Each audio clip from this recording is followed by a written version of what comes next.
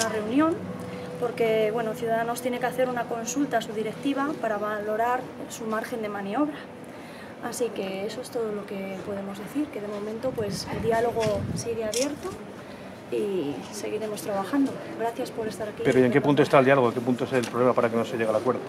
Pues de momento eh, problema que ha surgido pues que pues como partido porque hay unas directrices que bueno que vamos a intentar que ponerlas, llevarlas, devolverlas al sitio donde han venido para que valoren la situación de, de la ciudad y del momento en el que estamos y por eso les hemos invitado a que esas directrices en, este caso del de Partido de Ciudadanos, es decir, que necesitan consultar con Sí, necesitan hacer una consulta para, para, cambiar esa directriz o para intentar valorar la situación en la que estamos y, y volver a reunirnos. Entonces el resto de fuerzas lo, te, lo tienen claro. En principio sí. ¿Qué es? Eh, hacer un, un, acuerdo común. Eh, ¿Con qué partido como En principio principal? trabajar. No se ha decidido nada porque estamos en pleno diálogo y cuanto se decida algo pues lo sabréis todos. Esa consulta que tiene que hacer Ciudadanos sobre qué tema en concreto es. Bueno, eh, eh, ellos han manifestado que, que para poder eh, gobernar tienen que liderar.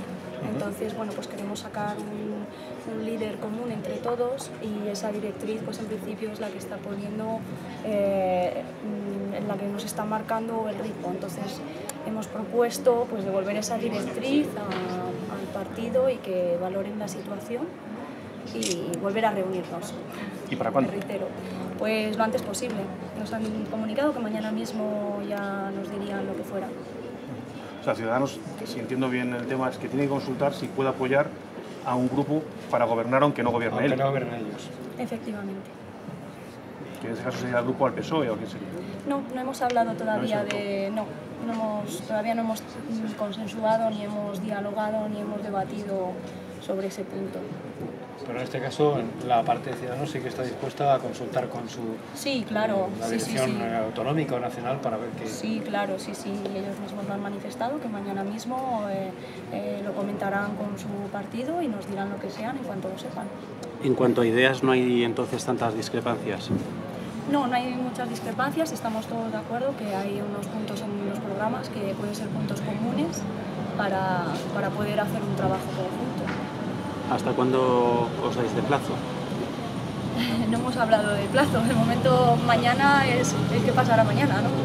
Así que de momento no hemos hablado de plazo ni nada, así que sabemos que el día 13 pues, tiene que haber una persona que encabece todo esto y que estamos, dialogar para que se pueda producir, ojalá. Y Ciudadanos, aunque no se ha aportado de Ciudadanos, ¿qué posibilidad ve de que desde Madrid o desde Barcelona le digan que puede romper ese, esa, esa premisa?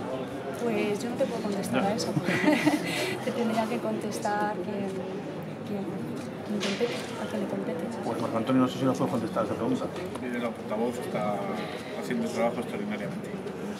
Una valoración general de la reunión. Lo que ha sido la reunión como tal, ya un poco satisfecha de cómo ha ido, esperabais más, menos.